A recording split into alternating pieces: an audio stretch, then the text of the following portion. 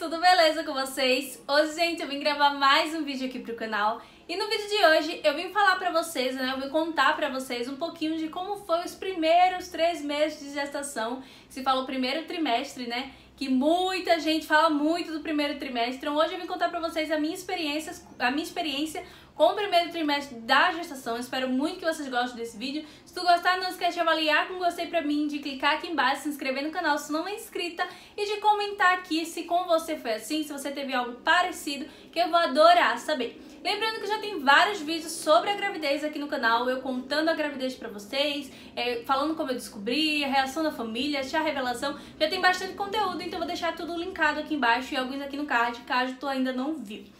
Então, gente, vamos lá, o primeiro trimestre da gestação. Pra quem não sabe, eu sou mãe de primeira viagem, né? Esse é o nosso primeiro bebê. E, gente, eu não consigo explicar pra vocês tudo o que eu senti nesses três primeiros meses, porque foi um, um era um mix de emoção. É, as primeiras semanas para mim foi super tranquilo. Assim, quando eu descobri a gravidez, eu não senti absolutamente nada. Como eu falei pra vocês, quando eu descobri, eu só senti uma dor no estômago e depois ficou de boa porque eu comecei a comer normalmente, né? Equilibradinho. E aí, depois da quinta semana, quinta foi sexta semana que a gente fez o ultrassom, o primeiro ultrassom, pra auscultar o coração do bebê, ver se tá no saquinho gestacional, se tá certinho, se ele não tava se desenvolvendo fora do ultra, essas coisas tudo. Aí, quando a gente fez o primeiro exame, depois que a gente fez o primeiro exame, com seis semanas e alguma coisa, não tava com cinco, tava seis semanas e alguma coisa, tá? A gente já tinha descobrido há umas duas semanas, mas a gente esperou um pouquinho para fazer esse exame, porque a gente marcou obstetra, foi ginecologista, tudo mais, para poder lhe passar os exames. Enfim. E aí, a gente, depois que descobrimos, que, tipo assim, descobrimos assim, fizemos a primeira ultra, que ouvimos o coração do bebê, o meu primeiro enjoo começou naquele dia. Na verdade, o meu primeiro desejo começou naquele dia. Eu passei no, no ragaço, não sei, acredito que mora aqui em São Paulo, não sei se tem outros estados, mas que mora aqui em São Paulo sabe, né? Coxinha do ragaço, eu acho que bem difícil não souber.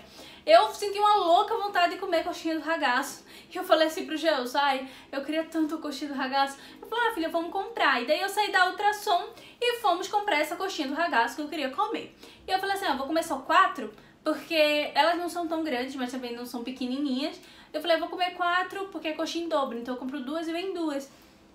E eu peguei as quatro coxinhas, sentei no metrô e já os do meu lado e eu comecei a comer. Gente, parecia que era a comida mais gostosa dessa vida. Sabe, não tem prato igual que eu senti naquele momento eu comia que parecia que era um negócio muito assim. E quando as pessoas me falavam que desejos aconteciam com grávida que realmente era real, eu meio que dizia, ah não, isso é besteira, talvez isso daí seja coisa da cabeça, talvez isso aí não aconteça. Paguei com a minha língua. Aconteceu comigo.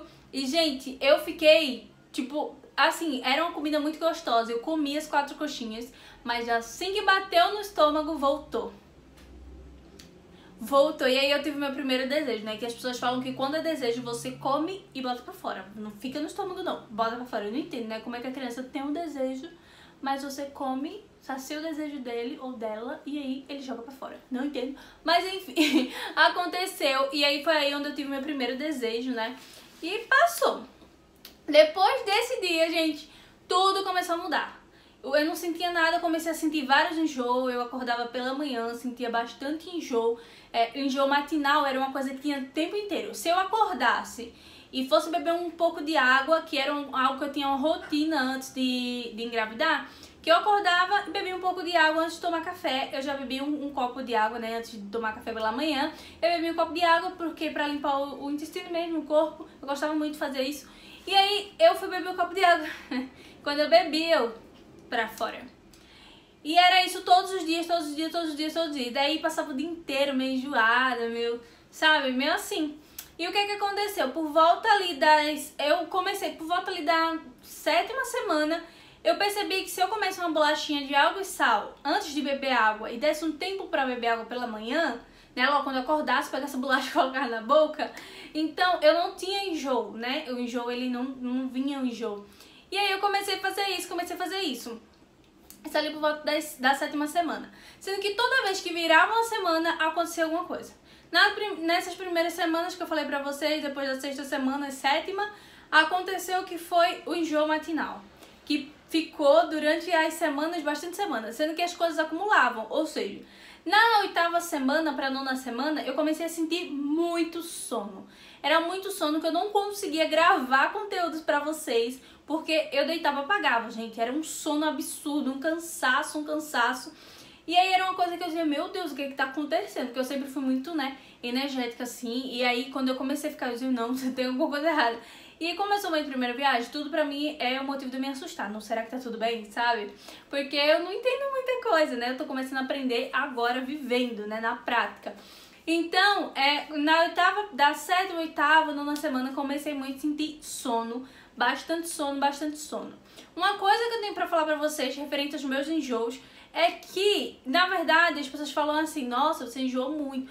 Gente, eu enjoei pela manhã, mas eu nunca deixei de comer nada, tá? Eu comia de tudo. Raramente era a vez que eu comia e colocava pra fora, porque eu comia de tudo, tudo que você imaginar. Eu, eu sempre fui uma pessoa muito saudável, assim, em relação a comer besteira, eu nunca gostei muito.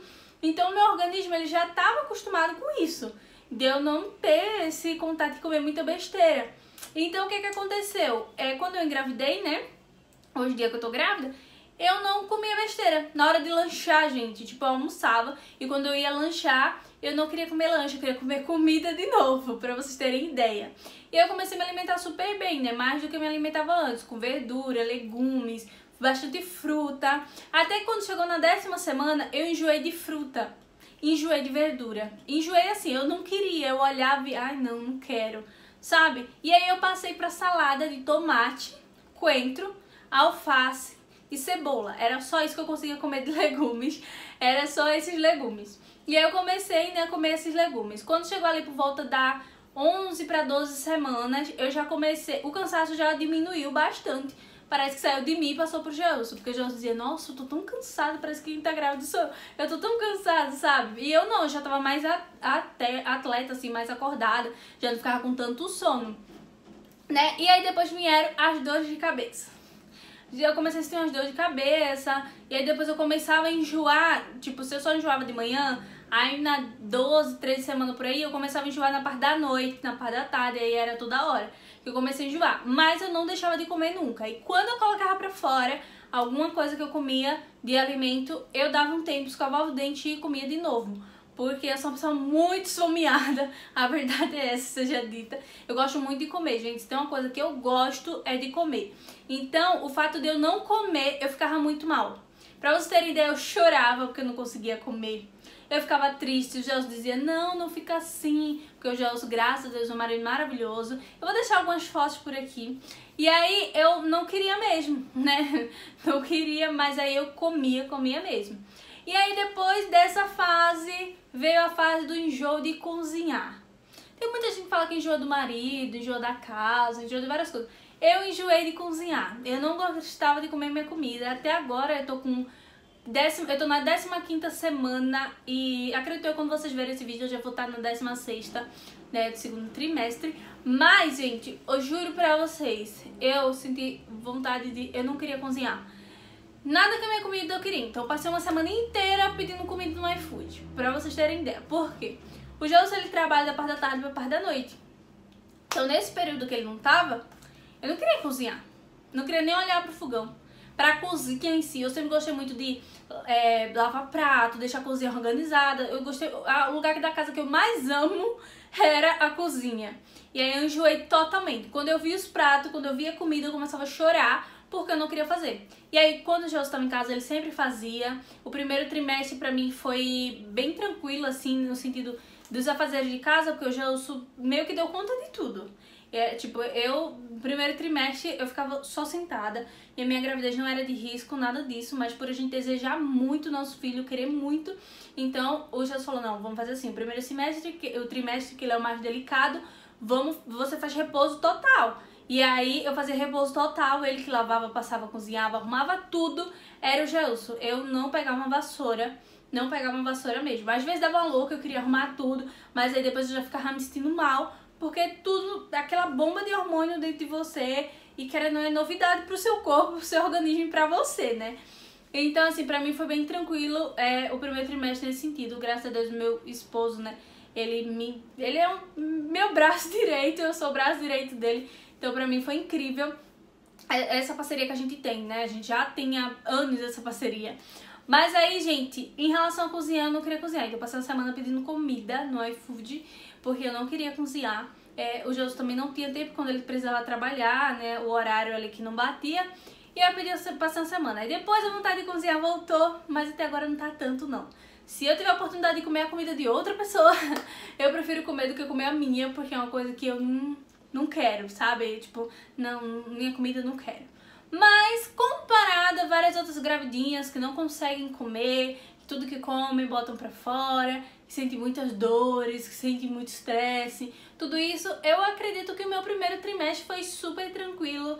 Eu não tive estresse algum, não tive preocupação. Lógico, né? A preocupação que a gente tem é a preocupação de, de saber se tá tudo bem com o bebê. Antes da primeira ultra eu ficava desesperada, porque eu dizia, meu Deus, será que tá tudo bem? Será que o bebê tá bem? Será que, sabe, tudo isso, tudo era uma incógnita pra mim. Então a gente fica bem, bem, bem preocupadinho. A primeira é morfológica também, né, que é onde você vê se a criança tem a... eles não dizem 100%, porque nenhum exame vai dizer pra você 100% que de certeza ou não mas eles falam ali aproximadamente se o bebê ele tem sinais de ter anomalias, essas coisas, tudo, a primeira morfológica, né, a morfológica do primeiro trimestre, e graças a Deus tá tudo bem com o nosso bebê, com o nosso filho, tá crescendo forte, saudável, e isso pra mim, quando eu saía da ultra, tirava meio que um peso, sabe, gente? E agora no segundo trimestre é que eu tô aproveitando bastante a gravidez, já tô conseguindo me maquiar, como vocês podem ver, porque não é assim, gente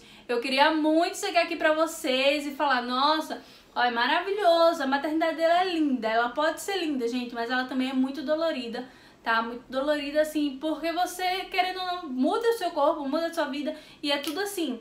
Hoje você tá de um jeito e quando você acorda no outro dia já tá de outro e é uma loucura só, é muita coisa. Então, assim, pra mim, graças a Deus, é, passou no primeiro trimestre. Estamos agora no segundo trimestre, aproveitando bem. E aí depois eu posso vir trazer um vídeo, né, falando pra vocês do segundo trimestre, como que foi, o que aconteceu. Porém agora eu tô mais tranquila, já tô pesquisando mais o quartinho, já descobrimos o sexo do bebê, e aí a gente já tá vendo roupinha, coisinhas assim, né, que é a parte mais de você comprar, gastar.